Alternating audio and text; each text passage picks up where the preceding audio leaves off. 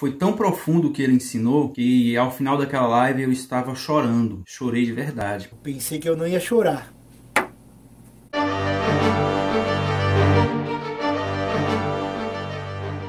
Escola ela tem um, um, material tão rico, um conteúdo tão bom, que não tem como você assistir um vídeo da aula, ver o material e não querer pegar o instrumento e estudar. O fórum no WhatsApp, onde a gente interage com todo mundo, é um elo que se forma assim, como se fosse uma família. Fui conversar direto com o professor, super acessível, uma pessoa super flexível, me atendeu assim de uma maneira espetacular, me explicou sobre a escola, não me deixou dúvidas. Eu fui lá, ingressei na escola e eu fiquei surpreso com a quantidade de conteúdo e com a qualidade dos conteúdos que o professor Marcelo Fofão ele disponibiliza nessa escola. Ele tem uma abordagem diferente, eu fico impressionado com a forma que ele tem de explicar assuntos tão complexos, né? Por exemplo, harmonia, ele explica de uma forma fantástica. Sem sombra de dúvida sem medo de errar a melhor escolha que eu fiz. E muitas pessoas falam assim que a aula online não é muito boa, as pessoas não aprendem como deveriam. Mas eu sou testemunha de que melhorei muito depois que comecei a fazer aula com o Marcelo Fofão. E a gente tem um professor que ele é muito presente, muito presente. Eu não sei como ele consegue acompanhar de perto todos os alunos. Não, se, não passa sequer uma mensagem sem que ele responda. O professor Marcelo Fofão tem um outro nível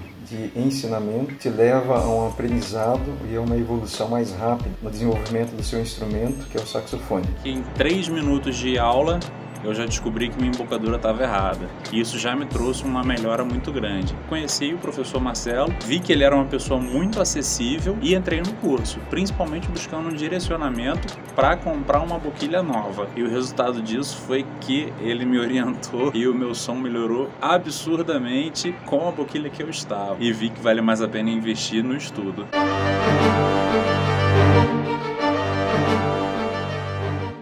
me lembro bem de uma live que o professor Marcelo Fofão fez falando de interpretação. Foi tão profundo o que ele ensinou que ao final daquela live eu estava chorando, chorei de verdade. A música ela tá além, ela tá mais conectada com o mundo espiritual do que com o mundo material. E olha só o poder da música, gente. Gunnar Ving, ele estava andando aqui no Brasil, ele estava com fome, ele bateu numa porta de uma casa e falou: Não, eu sou estrangeiro. Imagina um estrangeiro falando com um brasileiro naquela época. Comida, comida, né? Comer. E aí a mulher, meio sem entender, falou: Ah, não, não, não tem comida não. De repente a mulher entrou dentro de casa. Ela falou: Ai meu, eu fiquei com dó desse rapaz. Vou fazer aqui uma comida para ele. Aí chamou ele: Não, tá bom, vem aqui, eu vou dar comida para você. A brasileira tinha um violino. Guna Ving começou a tocar um hino. E a mulher, tipo, fazendo a comida, acho que ela tava tipo, ó, oh, o rapaz sabe tocar violino, que legal, né? Nisso, a mulher trouxe o prato de comida pro Gunaving e quando ela olhou pro Gunaving tocando e viu a filha dela do lado do Gunaving,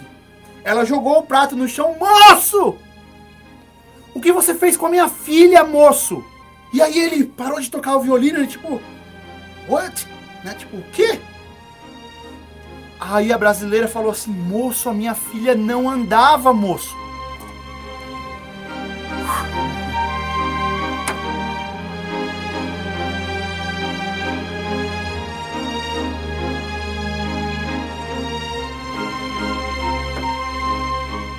Pensei que eu não ia chorar. Deus fez a música e de alguma maneira a galera se perdeu musicalmente falando. E é por isso que eu não paro de tocar.